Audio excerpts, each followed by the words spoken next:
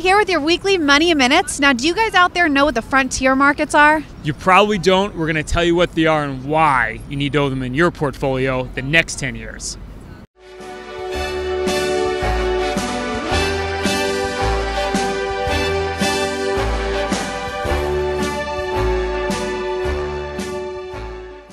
Hey, it's Courtney and Ryan here with your weekly Money Minutes.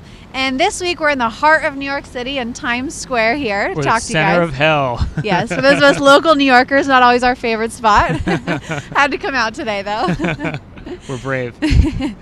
now, Ryan, we've been talking a lot about what your portfolio should look like over the next 10 years and why there's a lot of opportunities that maybe we haven't had in our portfolios the last 10 years. right. But specifically, one thing we want to talk to you guys about today is what we call frontier markets.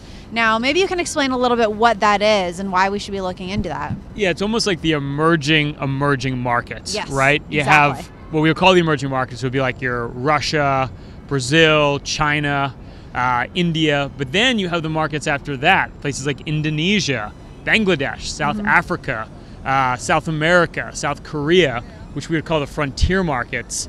And these places have very young populations. They're Yeah. urbanizing very quickly. Yeah. Um, and the growth rates there are the potential is much greater than we have here in the U.S. Yeah, and as Yeah. investors, what we're finding is it's a much cheaper opportunity to get invested in. Whereas the valuations of United States companies can be very high right now, it can be a better opportunity to go into places that are cheaper investments and long run have a little bit more potential to grow. Yeah, exactly. So think about the U.S. We're in the eighth or ninth inning right now. Our population's aging, growth is slowing. Frontier markets are the future, something you definitely want to consider for your portfolio over the next decade.